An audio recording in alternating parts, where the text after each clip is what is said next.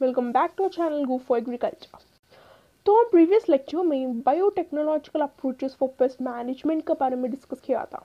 जैसे what is biotechnology and biotechnological approaches में total तीन अप्रोचेस हैं, लेकिन हम सिर्फ़ दो अप्रोचेस का के बारे में डिस्कस किया था, जैसे tissue culture technique R D technology so tissue culture technique में protoplast culture somaclonal variation और आर डी टेक्नोलॉजी में हम दो मेथड्स के बारे में डिस्कस किया था। वो फॉरेन जीन को ट्रांसफ़र करने के लिए। एक है डायरेक्ट जीन ट्रांसफ़र दूसरा है vector mediated so direct gene में टोटल चार मेथड्स है। So first direct uptake of DNA electroporation microprojectile bombardment and micro injection और वेक्टर मीडिएटेड में हम एग्रो एग्रोबैक्टीरियम ट्यूमिफेशंस के बारे में डिस्कस किया था। ठीक है? तो ये है प्रीवियस लेक्चर का मेन इंट्रोडक्शन तो हम आज लेक्चर में बायोटेक्नोलॉजिकल अप्रोचेस पार्ट टू के बारे में डिस्कस करने वाले हैं। इसमें हम कवर करेंगे transgenic crops BT cotton golden rice protease lectins and alarm pheromones ठीक है? तो चलो अब शुरू करते हैं। First is transgenic crops so what are transgenic crops so transgenic crops का मतलब है प्लांट्स में डीएनए होता है। तो सबको पता है। अगर हम डीएनए को मॉडिफाई करके एक नया ट्रेट मतलब नया कैरेक्टर को डेवलप करने से मतलब क्या होगा? If you develop the new character इसको हम ट्रांसजेनिक क्रॉप्स कहते हैं। सो नया ट्रेट का मतलब क्या है? जैसे मान लो तुम एक राइस क्रॉप ग्रो कर रहे हो, ठीक है? सो राइस क्रॉप में मेन कैरेक्टर क्या है? ग्रेन्स है ना? राइस क्रॉप में मेन कैरेक्टर है ग्रेन्स ठीक है? लेकिन तुम्हारे राइस क्रॉप में ग्रेन वेट जो है तो बहुत लो है। So your rice crop having a low grain weight ठीक है so what you thought is you want rice with high grain weight ठीक है सो ये लो ग्रेन वेट के तो एक कैरेक्टर है है ना? सो so, जीन्स जो है they will express this character genes का मतलब क्या है? डीएनए ठीक है? ये है डीएनए और कैरेक्टर का रिलेशन सो so, तुम्हारे राइस क्रॉप में सिर्फ़ लो वेट ग्रेन को एक्सप्रेस करने डीएनए है। सिर्फ़ लो ग्रेन वेट को एक्सप्रेस करने वाले डीएनए है। सो so, सो so तुम क्या करोगी? If you want the high grain weight वाले DNA what you will do you have to artificially insert it ठीक है? You have to artificially insert the DNA which contains a high grain weight ठीक है? तो तो तुम artificially high grain weight वाले D N A को insert करोगे।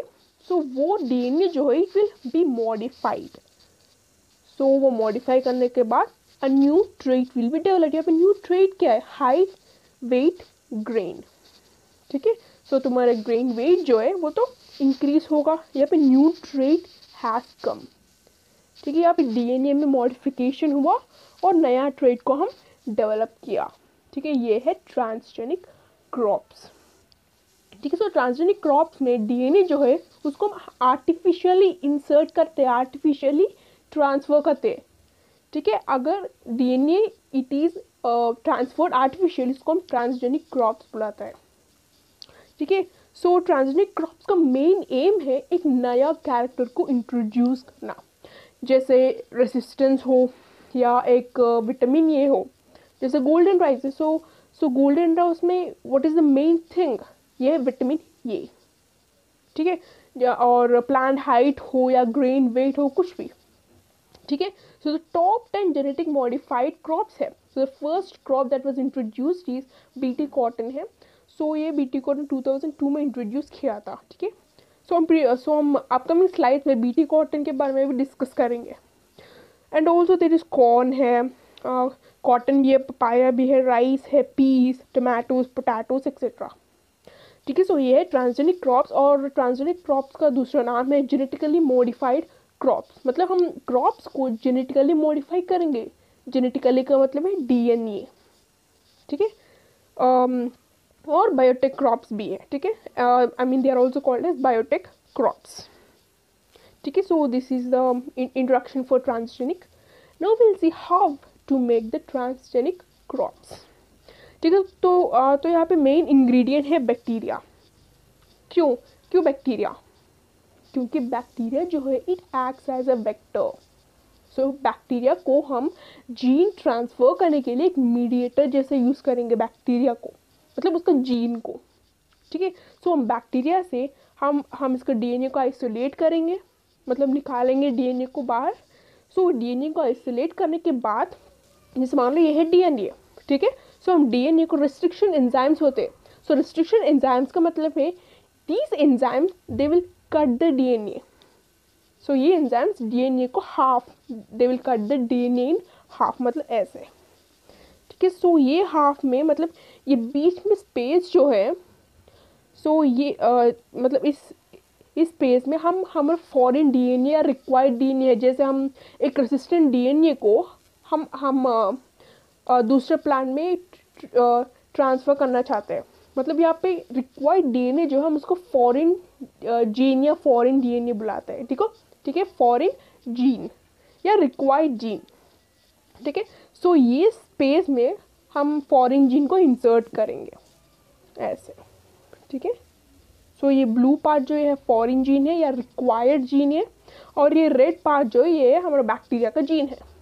सो बैक्टीरिया का काम क्या है? बैक्टीरिया है bacteria will transfer this gene into the plant so plant मतलब will it directly transfer into the grown plant no so इसमें इसमें कंप्लीटेड दो स्टेजेस है.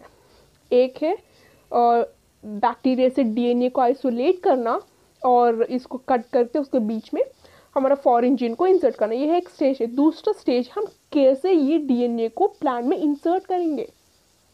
So the answer so the answer is हम प्लांट्स का protoplast को extract करेंगे। Protoplast का मतलब है न्यूक्लियस प्लस साइटोप्लाज्म सो ये प्रोटोप्लास्ट जो है, ये एक ब्रिज जैसा ऐड करेगा। मतलब इस प्रोटोप्लास्ट को अगर हम एक न्यूट्रिएंट मीडियम में डाल के इसको ग्रो करेंगे या अगर अगर हम इसको न्यूट्रिएंट सप्लाई करेंगे slowly it will grow into a seed I mean sapling and then it will go into a tree tree I mean plant sorry plant ठीक है सो ये प्रोटोप्लास्ट का ऐसे पावर है to grow into a plant ठीक है? हम plant से हम प्रोटोप्लास्ट को एक्सट्रैक्ट करेंगे और हम ये प्रोटोप्लास्ट आई मीन सॉरी ये डीएनए को, ये प्रोटोप्लास्ट के अंदर डालेंगे और और इस कॉम्बिनेशन को हम न्यूट्रिएंट मीडियम में ग्रो करके slowly slowly this protoplasm will become a plant so this is how will do the transgenic crops ठीक है so uh, so about this DNA isolation and protoplast I've discussed about in my previous lecture that is in the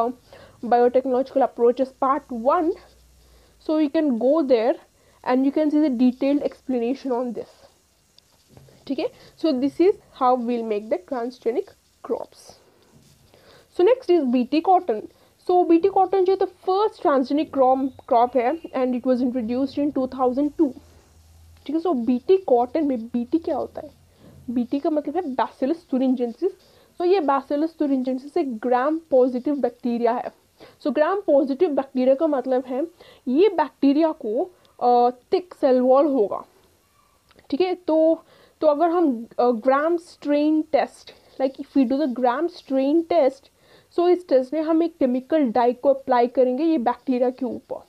ठीक है so so when we apply a chemical dye so since it, since this gram positive they have thick cell wall so we can see the purple color. ठीक है हम purple colour को देखेंगे if they have the thick cell wall and will call them as Gram positive अगर ग्राम negative का मतलब है उस बैक्टीरिया को they have a thin cell wall and and when we do the Gram stain test and we can see the pink dye अगर अगर purple dye होगा then it is Gram positive अगर pink dye होगा then it is Gram negative ठीक है? सो ये bacillus तुरिंजेंसिस एक gram positive bacteria है। और और एक इंपॉर्टेंट थिंग है ये बैक्टीरिया एक प्रोटीनीशियस पैरास्पोरल क्रिस्टल को प्रोड्यूस करते हैं। मतलब ये एक टॉक्सिन जैसे होगा और इसका स्ट्रक्चर जैसा होगा कि एक क्रिस्टल होगा और एक स्पोर होगा इसका टॉक्सिन में। सो so, ये दो चीज़ें बहुत बहुत टॉक्सिक है। और बहुत इंपॉर्टेंट है बीटी टॉक्सिन में, ठीक है?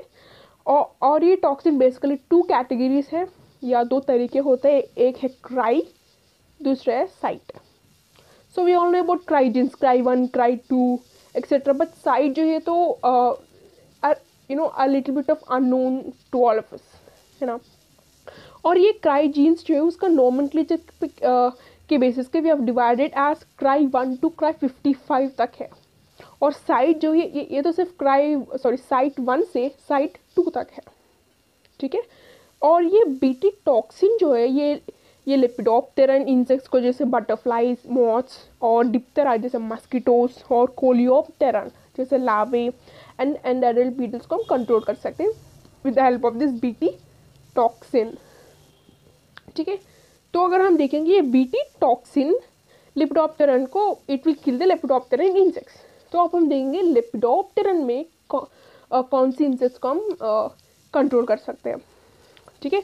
ये है Bombyx Mori Helicoverpa armigera and Heliothis virescens Plutella xylostella and Spodoptera exigua and Spodoptera littoralis ठीक है? और हमें पता है क्राई जीन में जैसे क्राई वन से क्राई फिफ्टी फाइव तक है। है ना? साइट में तो सिर्फ़ दो है साइट वन से साइट टू तक है लेकिन क्राई में क्राई वन से क्राई फिफ्टी फाइव तक है। मतलब क्राई वन जो है ये तो एक टाइप ऑफ़ इंसेक्ट्स पे इफ़ेक्टिव है और क्राई टू है दूसरा टाइप ऑफ़ इंसेक्ट पे इफ़ेक्टिव है है ना? सो so, इस टेबल में देखिए ओ या सो इस टेबल में देखिए क्राई वन है लेपिडोप्टेरा को कंट्रोल कर करते हैं। Cry two lepidoptera and diptera Cry three coleoptera Cry four diptera and Cry five lepidoptera and coleoptera जैसे क्राई सिक्स सेवन भी उसका स्पेसिफिटी है, लेकिन ये फाइव क्राई क्रिस्टलाइन स्ट्रक्चर जो है तो लाइक टॉप है। ठीक है? मोस्टली टॉक्ड या मोस्टली लर्नड ठीक है? सो तो अब हम देखेंगे mechanism of action of BT toxin यहाँ पे बीटी टॉक्सिन इंपॉर्टेंट है। ठीक है? जैसे मान लो, तुम एक बीटी कॉटन प्लांट ग्रो कर रहे हो। ठीक है? सो बीटी कॉटन का मतलब है कॉटन प्लांट में बीटी टॉक्सिन है, लेकिन वो तो इनएक्टिव फॉर्म में होगा ना? बीटी टॉक्सिन है, ठीक है? तो जैसे मान लो एक कैटरपिलर आगे तुम्हारे बीटी कॉटन लीव्स को खा रही है, ठीक है? यहाँ पे एक नोट है। ये बीटी कॉटन लीव्स को खा रही है मतलब लीव्स के अलावा ये बीटी टॉक्सिन को भी इंजेस्ट कर लिया मतलब it is also eating the BT toxin along with the leaves yes or no yes it is also eating the BT toxin along with the leaves so यहाँ पे बीटी टॉक्सिन जो है inactive form में then how it will be convert into active form यहाँ पे एक important um, है P ठीक है पी का मतलब है when the caterpillar eats that BT toxin तो तो कैटेपिलर गट में पीएच होगा पीएच रेंज होगा। सो so, वो पीएच रेंज ये इनएक्टिव टॉक्सिन को एक्टिव टॉक्सिन पर चेंज करेगा। ठीक है? सो this pH, it will change that inactive toxin to the active form. ठीक है? सो ये एक्टिव फॉर्म है प्रोटॉक्सिन आप बी स्क्वेयर बॉक्स में देखिए। सो ये active form is called as protoxin ठीक है? सो यहाँ पे इनएक्टिव फॉर्म से क्रिस्टल फॉर्म है। मैंने बोला proteinaceous parasporal crystalline let me show you ये है। प्रोटीनिशियस सॉरी पैरास्पोरल क्रिस्टलाइन ठीक है सो ये प्रोटीनिशियस पैरास्पोरल क्रिस्टलाइन है। This crystalline this pore so ये बहुत बहुत इंपॉर्टेंट है बीटी टॉक्सिन में। ठीक है सो सो ये क्रिस्टल और स्पोर है इनएक्टिव फॉर्म में। ठीक है और कैटरपिलर uh, के गट में जाने के बाद ये पीएच के हेल्प से ये इनएक्टिव फॉर्म एक्टिव फॉर्म बन जाएगा। ठीक है सो तो ये एक्टिव फॉर्म को हम प्रोटॉक्सिन बुलाते हैं। सो ये प्रोटॉक्सिन एक्टिवेटेड फॉर्म लेकिन अब क्वेश्चन है how this activated form will kill the caterpillar यहाँ पे एक मैकेनिज्म है। You can just remember it as lock and key ठीक है lock and key it's kind of key like this only okay यह है लॉक एंड की यहाँ पे लॉक क्या है? लॉक है कैटरपिलर uh, के गट में एपिथेलियल सेल्स होते हैं। सो so, ये एपिथेलियल सेल्स पे रिसेप्टार्स होते हैं। सो so, ये रिसेप्टार्स को हम लॉक जैसे एज्यूम करेंगे। ठीक है और की क्या है? टॉक्सिन है। So when the key binds with the lock so so when the key and lock comes together what happens they will be a you know like wait और जैसे मान लो कि लॉक है रिसेप्टार्स और की है toxin है ना? So in this picture you can see this key literally fits into the lock key है टॉक्सिन लॉक है एपिथेलियम या रिसेप्टार्स ठीक है? So this key fits into the lock so, this is the mechanism used. If the key fits into the lock, what happens? There will be a mechanism starts. matlab they they will start to show the symptoms that kill the caterpillar okay so when the toxin binds to the receptors then it will sh uh, show some symptoms to kill the caterpillar symptoms जैसे uh, they uh, they will stop eating and uh, they will it will lead to paralysis etcetera ठीक है तो ये है symptoms ये सब सिर्फ़ crystal करेगा crystal it will turn into protoxin और ये protoxin it will bind to the receptors of the epithelium लेकिन स्पोर क्या करेगा? Spore it will turn into the bacteria spore germinate होकर बैक्टीरिया होगा और ये बैक्टीरिया डाइंग कैटरपिलर जो है इस पर feed they will feed on the dying caterpillar ठीक है, मैं फिर से रिपीट कर रही हूँ। सो so, ये क्रिस्टल और स्पोर इनएक्टिव फॉर्म है. सो so, ये क्रिस्टल और स्पोर दोनों कैटरपिलर के गट में जाके उसका पीएच जो है सो so, पीएच के हेल्प से ये इनएक्टिव फॉर्म एक्टिव फॉर्म बन जाएगा. सो so, इस केस में क्रिस्टल जो है it will turn into protoxin protoxin का मतलब active active form of the crystal है. सो so, ये प्रोटॉक्सिन रिसेप्टर्स uh, जो मतलब अब एपिथेलियल सेल्स में रिसेप्टर्स पे बाइंड होके कैटरपिलर को it will show some symptoms and it will leads to death और ये स्पोर स्पोर जो है पीएच के हेल्प से it will germinate and grow into bacteria और ये bacteria they will feed on the dying caterpillar बस this is the mechanism of action of BT toxin ठीक है नेक्स्ट इज़ हाँ विल सी हमें पता है बहुत सारे ट्रांसजेनिक प्लांट्स हैं जैसे कॉटन है पी है कॉर्न uh, है राइस है ब्रिंजॉल है में शुगर केन है टबैको टोमेटो पोटैटो बहुत सारे सो so, लेकिन in the maximum all of these transgenic plants में हमारा ऑरिजिन ऑफ़ जीन मतलब हम बैक्टीरिया मोस्टली यूज़ कर रहे हैं बैसेलस तुरिंजेनिस ये तो सेम है मैक्सिमम इन ऑल केसेस ठीक है? सो बैसिलस तुरिंजेनिस मतलब क्या? मैक्सिमम ट्राइजीन्स ही होगा जैसे क्राई वन ये हो वन बी हो या वन ए बी हो या वन या वन ए बी हो या क्राई वन ए सी हो या या ओराइजा क्रिस्टैटिन हो कुछ भी। ठीक है? Would request you just go to this table for an idea. Okay, so that you can know how many kinds of transgenic plants है और उसका क्राई जीन्स कैसे होगा मतलब उसका ब्रॉड क्लासिफिकेशन कैसे होगा? So so that can get an idea ठीक है?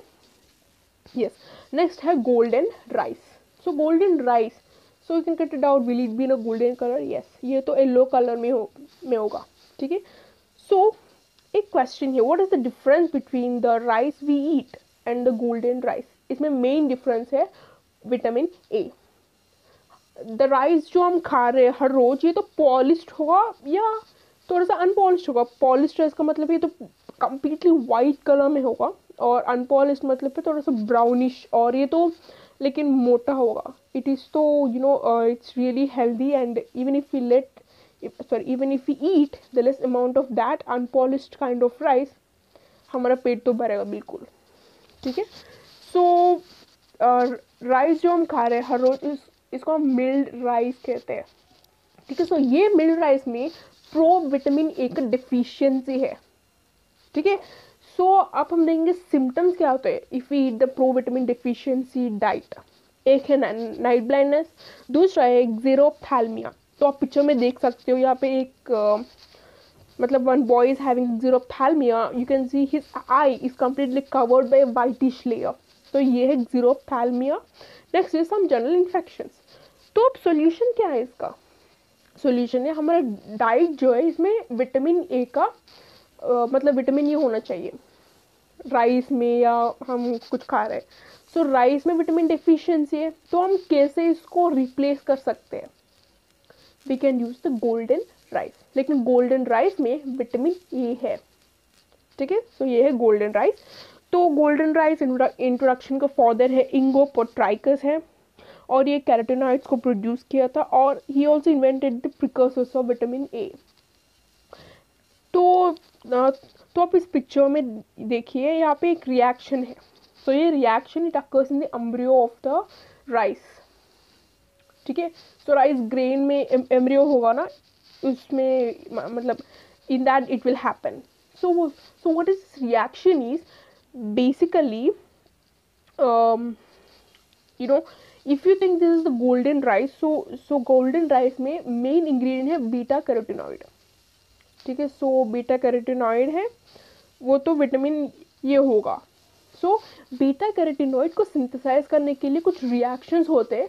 सो ये है, ये रिएक्शंस एक ही आईपीपी सो आईपीपी है मेन इंग्रेडिएंट है। आईपीपी का मतलब है isopentenyl diphosphate isopentenyl diphosphate so ये isopentenyl it will form geranyl diphosphate so ये geranyl diphosphate it will turn into phytoene with the help of the enzyme phytoene synthase so so ये phytoene it will form into lycopene with the help of enzymes phytoene desaturase and carotene desaturase और ये lycopene will form into beta carotene with the help of lycopene beta cyclase यहाँ पे चार enzymes हैं। ये चार enzymes बहुत important है। And you should remember this four enzymes and and ये साइकिल या ये रिएक्शन जो है, उस for you no to remember मैं तो सिर्फ़ आपको समझने के लिए I displayed this so you so you just have to remember this names of this four enzymes first is phytoene synthase phytoene desaturase next is carotene desaturase lycopene beta cyclase ठीक है? तो ये चार एंजाइम्स बहुत important है और ये चार enzymes like with the help of this four enzymes beta carotene is synthesized ठीक है? सो ये चार एंजाइम्स के हेल्प से बीटा कैरोटीन सिंथेसाइज होती है। सो so ये बीटा कैरोटीन मतलब गोल्डन uh, राइस में होगा। So I say that milled rice जो हम खा रहे हैं इसमें ये चार एंजाइम्स नहीं होगा। बिल्कुल नहीं होगा। ये सिक्स ट्रू क्योंकि ये चार enzymes like if there are these four enzymes only beta carotene can be produce अगर ये चार एंजाइम्स नहीं होता तो क्या होगा? बीटा कैरोटीन प्रोड्यूस नहीं होगा बिल्कुल नहीं होगा।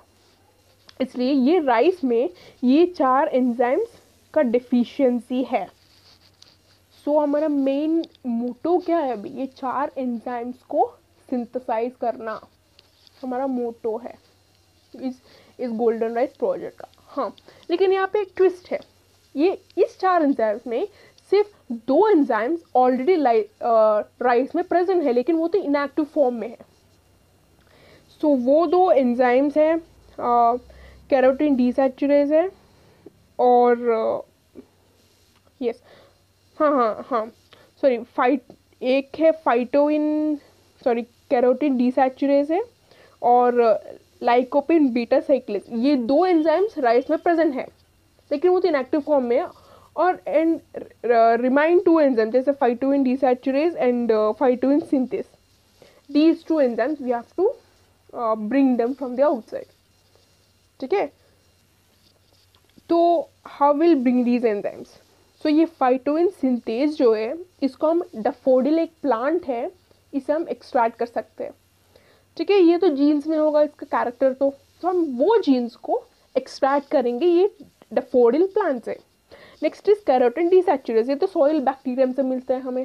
सो so, ये कैरोटीन को हम ये आ, ये ये सॉइल बैक्टीरियम होते एडवीनिया ओरिडोवोरा है हम इसे एक्सट्रैक्ट करेंगे। कैसे? जीन्स जीन्स तो मेन थिंग है ना एक एक कैरेक्टर को एक्सप्रेस करने के लिए। इसलिए हम जीन्स को एक्सट्रैक्ट करेंगे। ये है, ये ट्रांसजेनिक क्रॉप्स का मेन मोटो है, ठीक है? तो अब हम देखें तो तो अब हम देखेंगे इसको हम कैसे एक्सट्रैक्ट करके and how will grow that ठीक है? सो सो एक है डेफोडिस है, दूसरा है एडविनिया बैक्टीरिया है। तो हम डेफोडिस से हमारा रिक्वायर्ड जीन फाइटोविन डिसैचुरस को हम एक्सट्रैक्ट करेंगे जीन को, और एडविनिया से कैरोटीन को एक्सट्रैक्ट करेंगे। और एक्सट्रैक्ट करने के बाद हम प्लाज्मिड में इंसर्ट करेंगे। दोनों जीन अलग अलग प्लाज्मिड में इंसर्ट करेंगे। सो यहाँ पे सो so ये प्रोसेस है तो एक वेक्टर मीडिएटेड जीन ट्रांसफ़र है। And also have discussed about vector mediated उसमें mainly have discussed about agro bacteria in my previous lecture also ठीक है so this lecture is completely dependent on the previous lecture and if like if you have any idea on the previous you can easily grasp this one ठीक है? हाँ। तो हम ये genes को प्लासिस में इंसर्ट करेंगे। और ये एरवीनिया मतलब कैरोटीन को भी हम एक प्लास्मिड में इंसर्ट करेंगे। और ये प्लास्मिड का मतलब है एग्रो बैक्टीरियम ठीक है, इस केस में ये डीएनए मतलब ये जीन्स को हमारा राइस प्लान में इंसर्ट करने के लिए मिडिल मीडिएटर क्या है? वेक्टर क्या है? एग्रो बैक्टीरियम ट्यूमिफेशियंस ठीक है, हम एग्रो बैक्टीरियम ट्यूमिफेशियंस के हेल्प से हम इस डीएनए को ट्रांसफ़र करेंगे।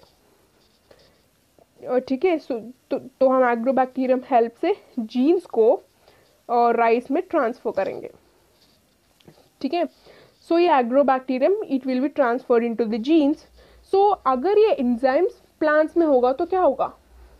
Beta carotene will be synthesized अब तक ये दोनों एंजाइम ये राइस में बिल्कुल नहीं है। इसलिए there is no synthesis of vitamin A so now we have got this enzymes into our plant now the beta carotene can be synthesized. Now we'll see how it is synthesized. वही same reaction है. IPP है, इसके बाद diphosphate and diphosphate से phytoene होगा, क्योंकि हमारे पास तो फायोटिन सिंथेस है. बिकॉज़ फायोटिन सिंथेस है, और ये फायोटिन से लाइकोपिन आ जाएगा. कि हमारे पास फायोटिन डिसैचुरोस और कैरोटिन डिसैचुरेस है, लेकिन ये दो एंजाइम्स है हम आ, हम इसको डिफोडिल से एक्सट्रैक्ट किया था और इसको हम एरवीनिया बैक्टीरिया से एक्सट्रैक्ट किया। और ये दोनों तो इसमें है लेकिन ये तो इनएक्टिव फॉर्म में है। ठीक है? Since since we have all these four enzymes हम हम बीटा कैरोटीन को एक्सट्रैक्ट सॉरी सिंथेसाइज कर सकते हैं। अगर बीटा कैरोटीन होगा तो राइस में विटामिन ए होगा। ठीक है दिस सब गोल्डन राइस हैज़ प्रिपेयर्ड ठीक है? सो ये golden rice yellowish orange colour में होगा, इसलिए इसका नाम है गोल्डन राइस ठीक है, आप इस पिक्चर में देख सकते हो। ठीक है? तो ये है विटामिन ये सिंथेसिस का एक पाथवे चार एंजाइम्स बिल्कुल ज़रूरत है। ठीक है? So this is so this is about the golden rice ठीक है तो अब तक हम ट्रांसजेनिक क्रॉप्स के बारे में डिस्कस किया था। इसमें वाटर ट्रांसजेनिक क्रॉप्स और इसके एग्जाम्पल्स है बीटी कॉटन और golden rice so now will see protease inhibitors ये तो अनदर टॉपिक है। I mean continuation for the transgenic crop ठीक है? सो प्रोटीज इनहिबिटर्स का मतलब है प्लांट्स का नेचुरल डिफेंस मैकेनिज्म है। मतलब प्लांट्स का नेचुरल एबिलिटी है बेस्ट अटैक को फाइट करना जैसे मान लो like for example you are going in a market तुम मार्केट जा रहे हो कुछ चीज़ें खरीदने के लिए, ठीक है? And you have seen like some people they are came and teasing you ठीक है, फिर तुम क्या करोगे? You say please one help me someone help me so nearby दस a police so so that police he came near you and he arrested those people who are teasing you ठीक है, यहाँ पे let's relate this with the protease inhibitors you you went to a market यहाँ पे तुम you are a plant. So, plant and you are same. You are a plant. और people who are teasing you is a pest. ठीक है? और तुम बोल रहे हो, बचाओ मुझे please help me just stop it please help me तुम बोल रहे हो। लेकिन इस केस में क्यों बोल रहे हो तुम? They are teasing you the same is pest is attacking the plant ठीक है? Since the pest is attacking the plant so since the people are teasing you're saying help me बचाओ मुझे. वैसे ही the plant is releasing the compound मतलब it is sending the signals to save him और her मतलब sorry to save the plant ठीक है? यहाँ पे तुम बोल रहे हो, बचाओ. वही प्लांट जो है it is sending the signals to help so there a police nearby वही अ नेचुरल प्रीडेटर नियर जैसे वैस्ट हो या बीटल हो, कुछ भी।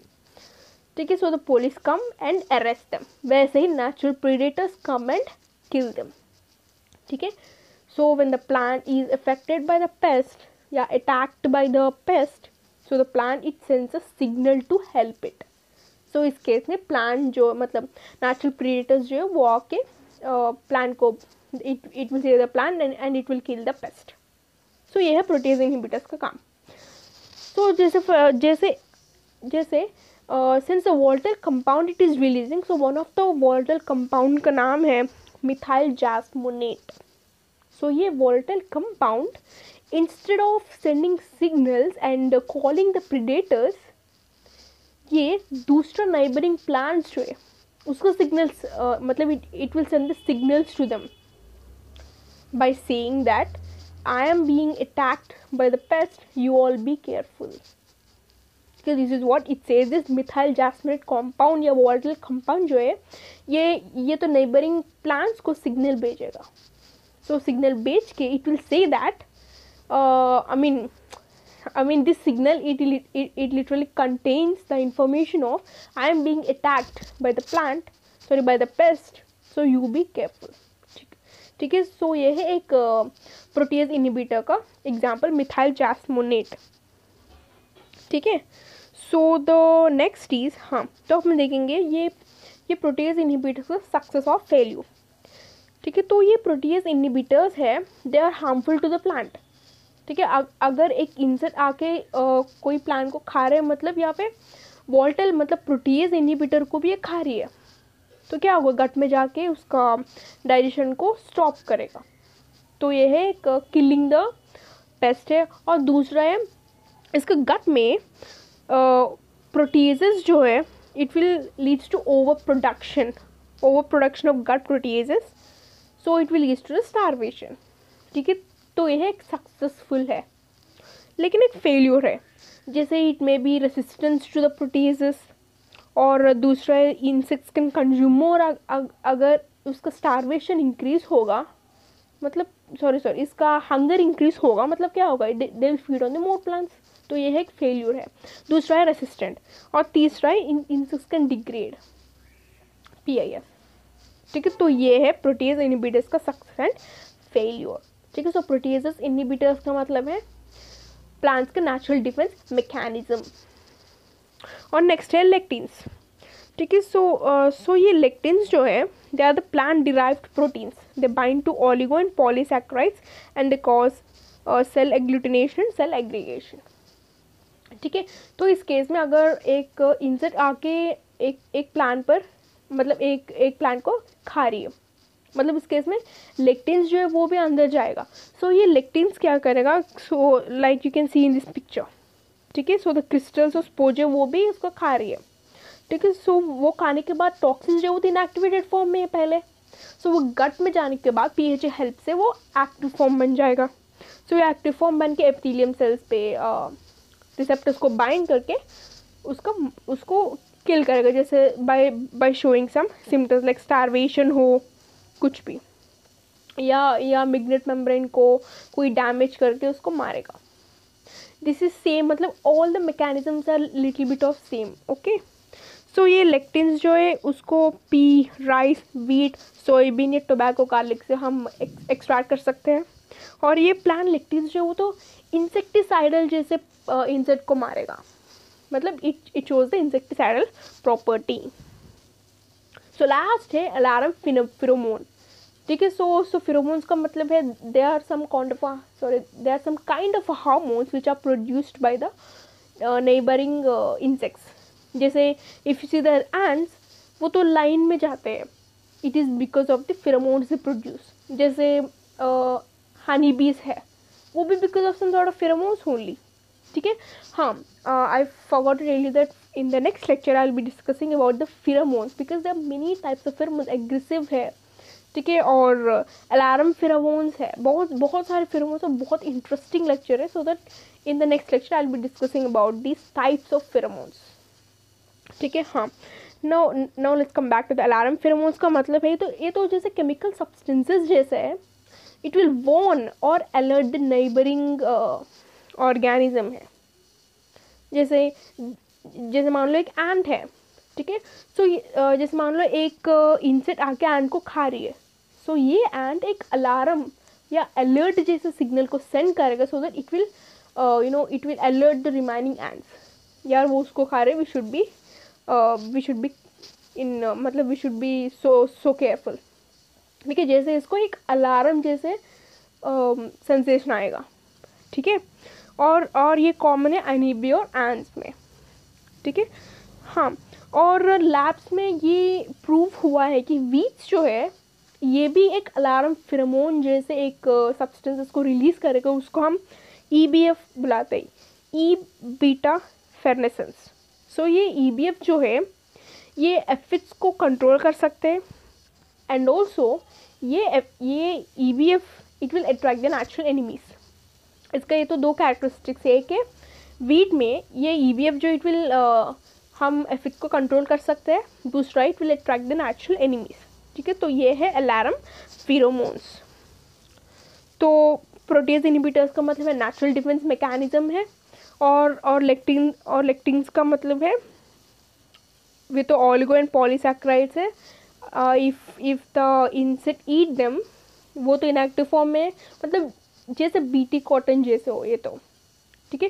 So so this is little bit equal to BT cotton only और अलार्म फेरोमोन्स का मतलब है नेबरिंग या ऑर्गेनिजम्स या प्लांट्स को it it will send a signal to be alert ठीक है? So so this it guys thank you for watching in today's lecture we discussed about the part two of biotechnological approaches and I really really request you to just go back to my previous lecture because in that I discussed about the basic things tissue culture या agrobacterium so if you are really good with that you can easily grasp this part 2 lecture. Okay? And and also in the upcoming lecture i'll discuss about the types of pheromones there are many types of pheromones and it will be so much interesting and it will be so much fun. Because if you have any queries you can just ask us in instagram page or you can post in the comment section. And also you can download this ppt from our telegram channel go for agriculture. So thank you for watching. Stay tuned. Take care. Bye bye